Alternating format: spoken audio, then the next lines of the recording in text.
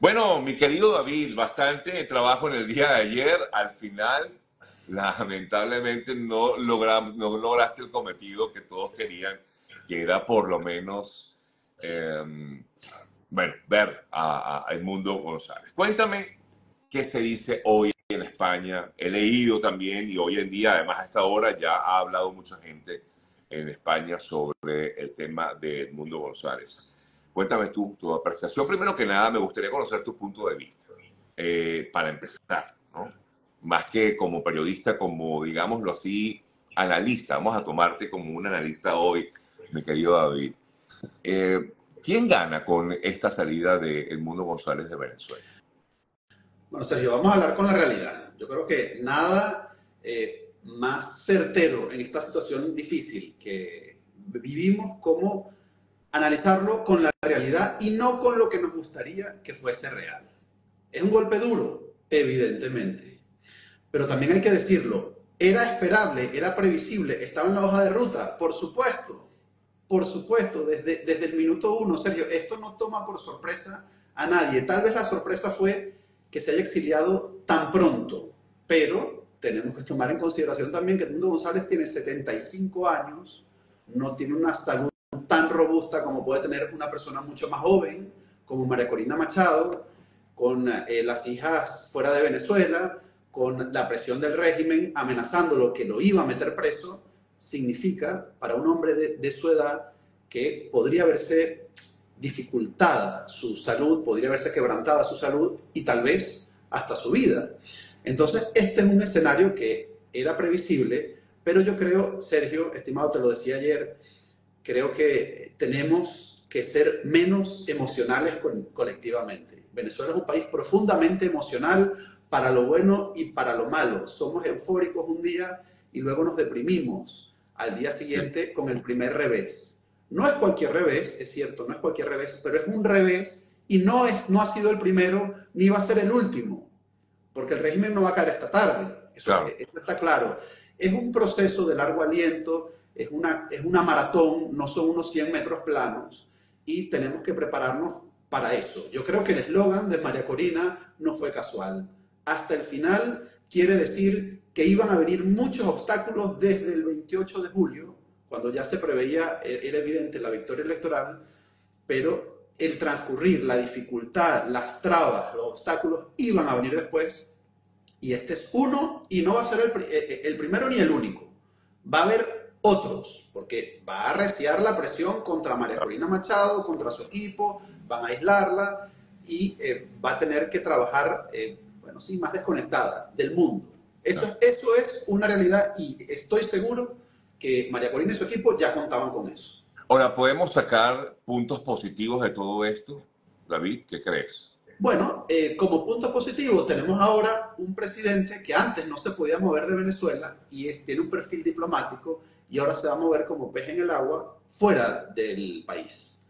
Esto dentro, de, dentro del escenario menos positivo o, el escenario más dificultoso o más gris, es algo positivo. Tiene un perfil diplomático. ¿Quién mejor que él? Un presidente que ha ganado las elecciones para exigirle a Pedro Sánchez, a la Unión Europea, al secretario de Estado Anthony Blinken, porque supongo que ya con, Biden ni, eh, ni, tendrá acceso, ya, ya, ya, Biden va de salida, ¿no? Y estamos en campaña electoral, pero se va a poder reunir incluso con Amorín, con Lula, eh, con Petro, es decir, se va a poder reunir con los líderes regionales, se va a poder reunir con los líderes de la Unión Europea y orquestar y armar esa estrategia diplomática, esa ofensiva diplomática que tiene como objetivo cercar al régimen y eh, el plan es producir un quiebre, producir una aunque, aunque, aunque no sea reconocido por todos esos países, te lo pregunto porque efectivamente España no reconoce al mundo, sí lo reconoce como un candidato, pero no lo reconoce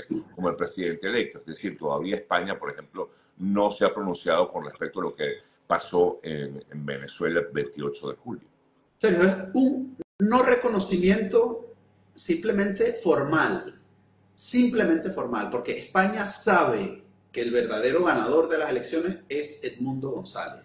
El no reconocimiento todavía, fíjate que cada vez que hablo, acabo de hablar con un portavoz ahora del Partido Socialista, me dice aún, aún no, Aún por no. ahora no. Todavía no. También, también lo ha dicho Borrell, de aquí al 10 de enero queda mucho tiempo, es decir, es un no reconocimiento temporal y formal. ¿Por qué? Porque no quieren cerrar todas las puertas para una posible negociación que a mi juicio, y esto ya sí es una valoración personalísima, ya está liquidada. No puede haber negociación con el ganador de las elecciones a los ojos de todo el mundo en el Claro. exilio.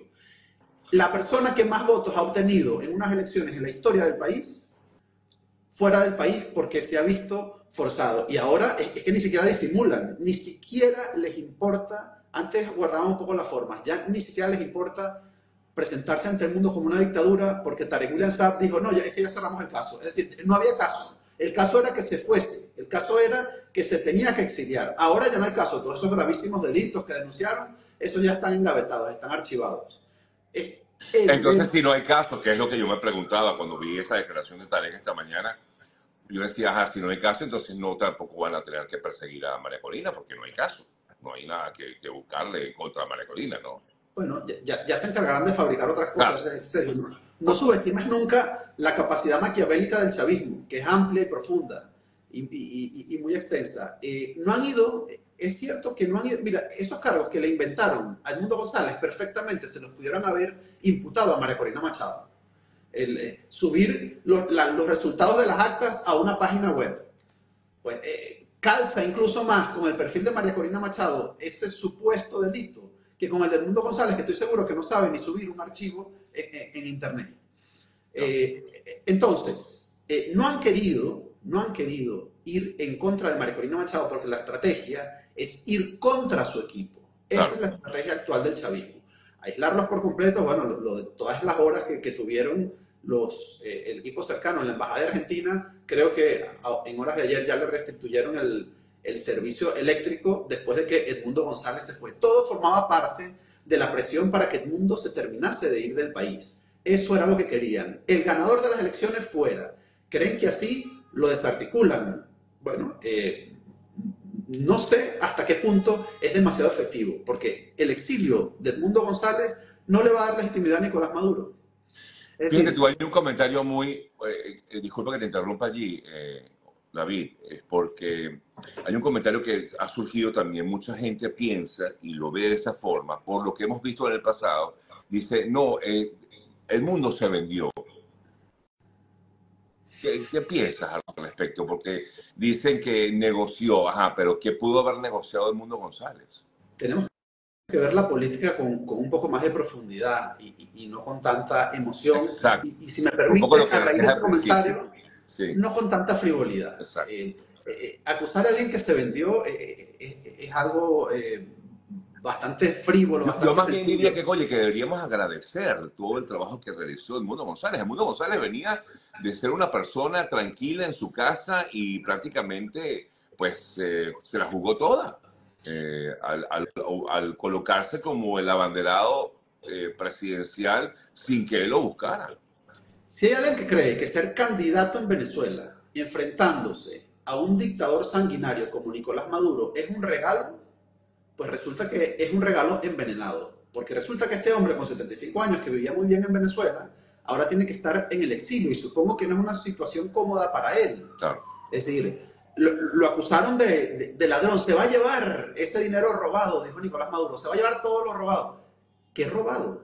No ha tocado poder, no ha tocado fondos públicos. Es Claro. absurda, descabellada, no se sostiene esta acusación de que se va con el dinero, se va con lo robado. El dinero robado ha sido el dinero robado durante 25 años. Es decir, hay otros sectores en la oposición, eso sí, a los que hay elementos, a lo mejor para sospechar, que han metido mano en la caja. Pero no ha sido Edmundo González, que solo ha sido candidato en una brevísima campaña y se ha tenido que exiliar, por favor. An- ¿Ante quién eh, eh, tuvo que negociar Edmundo González? Si está exiliado en la casa de su hija aquí en España. Eso no tiene ningún fundamento. No, tranquilo, me imagino que te entró una llamada allí. Te, te consulto, David. ¿Por qué crees tú que se escogió España? ¿Precisamente por, por, por eh, algún tipo de vinculación con, con Pedro Sánchez? ¿O tal vez habría influido allí el hecho de que está su hija ya en España desde hace tiempo? Es una, es una razón aplastante, la razón familiar. No, no, no, hay ninguna otra. Es decir, no le demos lectura política porque es cierto que España sí, es cierto, se está convirtiendo en la capital política del exilio, de los venezolanos en el exilio.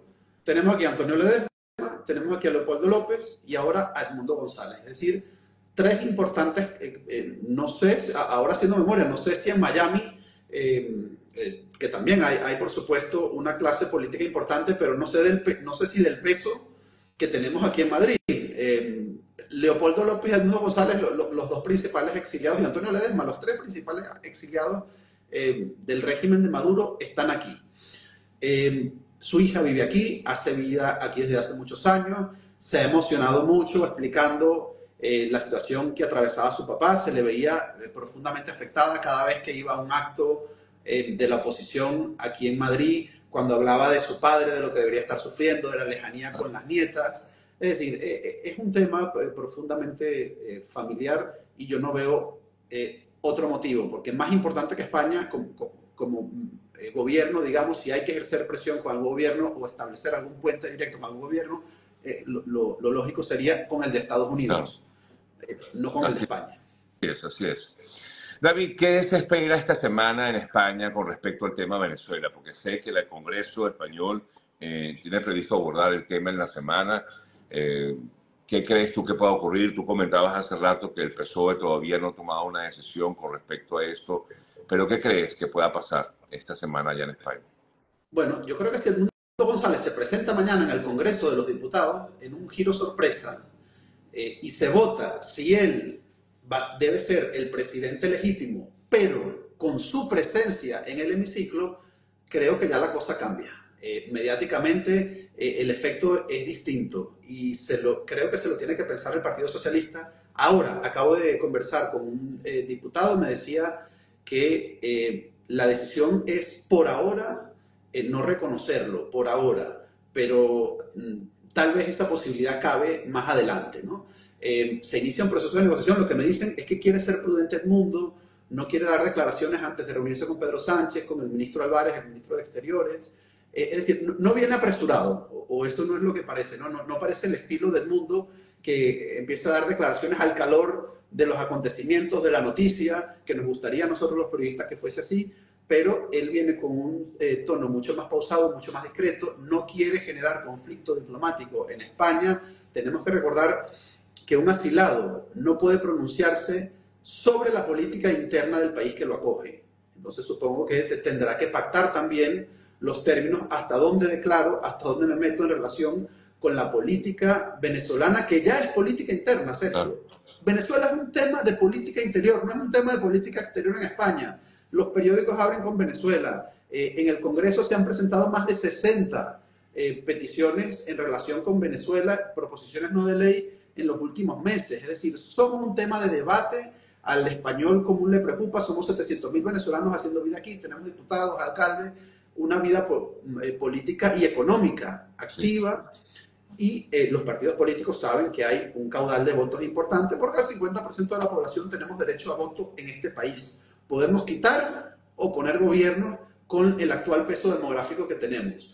Con lo cual, eh, creo que se tiene que pensar Pedro Sánchez cómo va a justificar en el caso de que vote que no reconoce Edmundo González, cómo lo va a justificar, qué argumentario va a utilizar políticamente, porque no va a ser fácil. Y menos fácil va a ser si el mundo da la sorpresa y se presenta mañana en el Congreso. Ah, exacto, esto pudiera dar un vuelco un poco a la discusión dentro del Congreso, si se presenta allí. Entonces, estaría descartada por los momentos una rueda de prensa por parte del Mundo González. A menos... Pues, las últimas noticias que tengo es que antes del jueves no. Eso es lo último que me han dicho. Em, ya sabes que esto es dinámico y los acontecimientos cambian, pero viendo los estilos del mundo me parece que no va a ser precipitado, es decir, no va a ser esta tarde y probablemente no lo sea mañana tampoco. Sí. Eh, y mientras tanto, ¿qué se dice? Eh, porque hemos visto a los medios, los medios españoles muy activos con el tema Venezuela. Todos los días sale a través, por lo menos en las plataformas digitales, algo que dijeron en Antena 3, que dijeron aquí, allá. O sea, siempre hay como que, ¿qué se dice en el ambiente, David? Bueno, ya sabes que em, una de las cosas positivas que creo, Sergio, que hemos logrado en, en, estos, en estas últimas semanas, desde el 28 de julio hasta aquí, es que hasta ahora Venezuela era un tema que dividía en la sociedad española. Es decir, éramos la causa de la derecha. España, para quienes no conozcan la política y la sociedad local, es un país casi fratricida, dividido en dos bandos desde la guerra civil del 36, derecha contra izquierda, rojos contra azules. Y esa división ha permanecido casi intacta durante, bueno, eh, prácticamente durante el último siglo. Es decir, los españoles de derecha y de izquierda, eres comunista o eres facha, eres socialista o eres facha. E, esa división fácil se hace, eh, incluso se distingue a la gente por la forma de vestir, no, este es un facha, este vive no sé dónde, es un socialista, un comunista. Eh, Venezuela creo que por primera vez ha logrado integrar a estos medios de comunicación de izquierda que ya han retirado abiertamente su apoyo a Nicolás Maduro y son críticos con la dictadura de Maduro. Esto es un gran logro, serio, e-, es un gran logro en política interior que los medios españoles ya no, no tengan ningún tipo de soporte argumental para apoyar lo que Nicolás Maduro está haciendo. Incluso creo que el hecho de que el mundo haya ido a España y no a otro país, porque como estuvo antes, por ejemplo, el gobierno de Países Bajos, quizás si él se hubiese refugiado o se hubiese asilado en, en los Países Bajos, digamos, no tendría la misma resonancia como la que tiene ahorita en España. O incluso tiene mismo en Estados Unidos. Y con el eco, teniendo la resonancia en España, el eco que tiene a su vez en, la Unión Europea y en Latinoamérica, porque e, es un altavoz, todo lo que sucede en España tiene mucho más altavoz en América Latina y en, y en, Estados Unidos incluso que lo que puede tener en Holanda. Que ojo, ayer me mandaban también los noticieros de Holanda, eh, dieron también un espacio especial a, Edmundo González por haberse asilado durante un tiempo en la embajada y tenemos un gobierno en Holanda que es un gobierno, vamos a decir, duro, con la migración eh, hay un creciente malestar en toda Europa por eh, los altos índices de migración, por la migración desbordada. Y, es un tema eh, sensible en Holanda, todo lo que tenga que ver con asilo, con refugiados, y, se trató, creo, que de una forma bastante pulcra por parte de la televisión holandesa. Hemos tenido también repercusión allí. Te preguntan, David, acerca del papel de Zapatero, Rodríguez Zapatero. De hecho, tú has comentado en algunas de tus publicaciones algo sobre el tema de Rodríguez Zapatero. Eh, ¿Fue fundamental el trabajo de Zapatero allí? ¿Qué crees al respecto? Bueno, Zapatero se presenta como el, buen mediador, como esa, persona que hace posible que ese régimen opresor, violador de los derechos humanos, eh, tienda una mano a, los oprimidos y gracias a él defensor de los derechos humanos, hombre de paz, casi candidato para un premio Nobel, pues hace posible este tipo de cosas. Bueno, es el papel que quiere jugar Zapatero, venderse como un hombre pacificador, un hombre bueno ante el mundo. Esta, eh, Sergio, bueno, es mi opinión, esa no es la realidad. el régimen excarcela a los presos políticos que el régimen quiere excarcelar no por presión de José Luis Rodríguez Zapatero, porque no tiene ningún mecanismo de presión con, con, los hermanos Rodríguez. Me atrevería a decir, Sergio, todo lo contrario. Puede tener compromisos, puede tener intereses empresariales en Venezuela y no tiene ni mucho menos ningún mecanismo de presión. Yo creo más bien que el mecanismo de presión lo ejerce el chavismo con él, que ha, tenido ya, bueno, acreditadas eh, relaciones empresariales su círculo eh, de, amigos tiene relaciones empresariales en Venezuela. Hay información en la Audiencia Nacional sobre eso y ya ni hablemos de la mina que dijo o que denunció Piedra Córdoba, ¿no? Ya ni hablemos de eso, pero incluso hasta sus hijas eh, buscan eh, negocio en el mercado venezolano, ya es algo que ha publicado la prensa aquí en España. Es decir, no es un hombre acreditado para ejercer presión con el régimen de Nicolás Maduro, no todos los presos políticos que libera el chavismo y lo hace a través de Zapatero, pues lo hace como una figura de mediador. ¿A qué hora va a llegar el avión? ¿Cuándo viene? ¿Quién lo recibe? E, es un mero ejecutor de las órdenes de los hermanos Rodríguez. Quería el chavismo que Edmundo González se exiliase Y eh, Rodríguez Zapatero simplemente fue el mecanismo para garantizar que ese exilio se diese. Punto y final. No es verdad, como dice Rodríguez Zapatero, lo dice a sus amigos, lo dice a los diputados, a la gente del Partido Socialista, que él no habla sobre, no se pronuncia sobre la dictadura venezolana, porque si lo hace, entonces nosotros, los demócratas venezolanos, perderíamos esa plataforma, ese acceso a la dictadura. Eh, triste papel, Sergio, triste papel. Sí, la verdad que ha dejado mucho que desear y también, eh, bueno, se ha evidenciado mucho ese trabajo que eh, eh, vincula directamente a Zapatero con el régimen venezolano. Además, no, sé si me permite un inciso. Él se ha querido vender como un mediador entre la oposición y el chavismo, entre un agente facilitador, pacificador. Para tú tener esa autoridad, necesitas la validación por parte de las dos partes, de las dos facciones no la tiene por parte de la oposición venezolana. ¿A, qué papel lo ha reducido María Corina Machado? Creo que de forma muy acertada. A la de un invitado electoral de Nicolás Maduro que no se pronuncia respecto a todas las irregularidades que vio el 28 de junio. Que por cierto, publicó la prensa española que ni siquiera visitó un centro electoral, que veía todo por televisión. Es decir, no tiene la validación por parte de una de las fuerzas, la fuerza mayoritaria además es un simple invitado, como lo dijo de forma muy acertada María Corina Machado, de Nicolás Maduro. Y un invitado que además viene a observar y no se pronuncia sobre lo observado. Exacto, exacto. Sí, porque por lo menos vimos a un eh, Leonel Fernández que al menos comentó algo al respecto. Leonel Fernández, el presidente, expresidente de Dominicana, y también él estaba junto con... Em, no me acuerdo quién era el otro expresidente, que también visitaron y ambos por lo menos, ah, Samper, Ernesto Samper de Colombia. Claro, y ambos por lo menos dijeron, bueno, aquí la cosa como que no estuvo tan bien que digamos, pero por lo menos se pronunciaron e, e hicieron algún tipo de comentario. Lo que sí es cierto es que por lo menos, por lo menos Sergio, ya no apoya públicamente, hasta eso lo han perdido el chavismo, ya no apoya públicamente ni los enaltece ni les da legitimidad al chavismo. Incluso en privado ha llegado a comentarse a decir, ¿qué me están contando si en Venezuela no hay ley? ¿Qué me están contando si en Venezuela no hay Estado de Derecho? Se lo dice a lo suyo, a, a sus propios compañeros socialistas.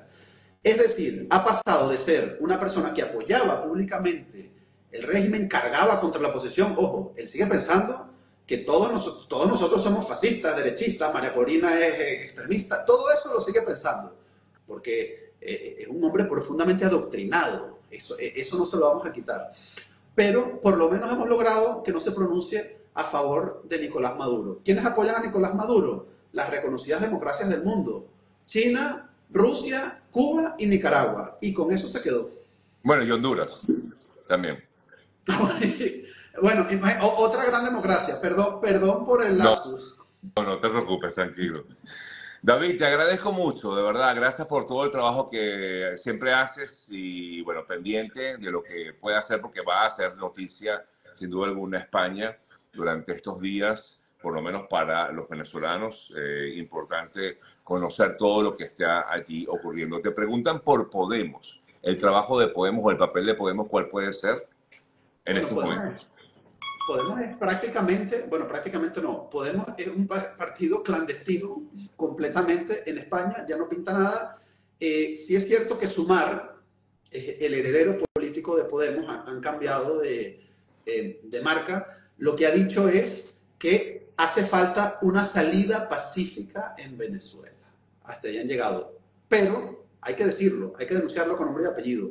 Enrique Santiago, diputado de Sumar en el Congreso, es invitado por el chavismo, tiene una relación privilegiada eh, con la embajadora, acude a todos sus actos, los defiende y estoy seguro algo recibe a cambio, como todos estos diputados y pseudo líderes políticos de los partidos minoritarios en España, de la izquierda radical, algo recibirán a cambio, pero se han quedado en eso, en un papel residual. Tiene defensores hoy a Juan Carlos Monedero, que ya eh, acreditadamente recibió dinero eh, del chavismo, y a Enrique Santiago y a algún líder eh, menor. A eso se ha reducido el apoyo de los partidos en, España al chavismo. Tiene otros apoyos, los de los independentistas, los independentistas catalanes, Izquierda Republicana, los Bildu, herederos de ETA, y el bloque nacionalista gallego, que, creo que tiene uno o dos diputados, es decir, es un partido absolutamente minoritario en Galicia también. Eh, la izquierda independentista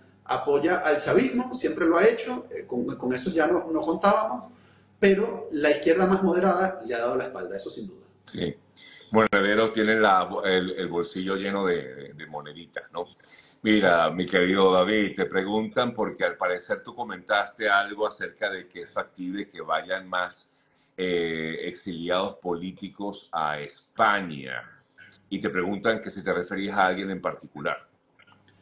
Bueno, eh, tengo la información de que uno de los nombres que está sobre la mesa no quiere decir que vaya a ser eh, liberado, liberado, de inmediato, pero sí hay algunas gestiones ya adelantadas. Es Perkins Rocha, es el número 2 de María Corina Machado. Eh, tiene una situación singular eh, de salud y es que él tiene una válvula conectada desde su cerebro directamente a su estómago para drenar unos líquidos que su organismo no puede drenar de forma natural. Eso quiere decir que no puede eh, recibir eh, ni siquiera forcejeo, eh, golpes, tiene una situación delicada de salud y la cárcel supone un peligro para él. Entonces es, bueno, es, es, un nombre que está sobre la mesa, pero por lo que me han dicho desde el entorno de Zapatero, no va a ser uno ni dos, va a ser una buena cantidad, al parecer, de excarcelados. Entonces, entonces entiendo la razón por la cual Álvarez decía que estamos con los venezolanos. O sea, lo hacía en plural. Yo decía, no entiendo por qué Álvarez habla en plural, como que si todos los venezolanos fueran para allá. Ahora entiendo y comprendo. Bueno, puede ser, ¿no? Digamos, atando, atando cabos, tratando de entender, ¿no? Así es. Hay que leer, y haces bien, en leer entre líneas, hay que leer entre líneas porque los mensajes muchas veces no los van a dar directamente cuando Borrell hablaba de que estaba negociando con Países Bajos, muchos no supieron ver que era que era que el mundo ya estaba en la bajada de, los Países Bajos, ¿no? Y, en esto también creo que lo has visto eh, con precisión.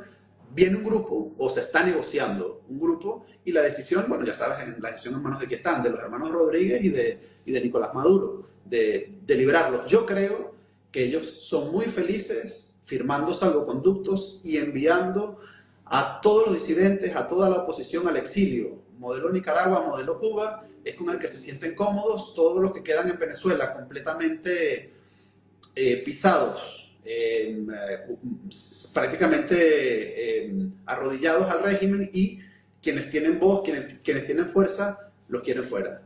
Y, para eso, y, para eso trabajan. Eh, no tengo duda de que no van a tener ningún problema en darle a Zapatero otra razón para que se erija como el buen hacedor y el buen pacificador y le firmarán una buena cantidad de salvoconductos eh, tal vez en los próximos días, en las próximas semanas.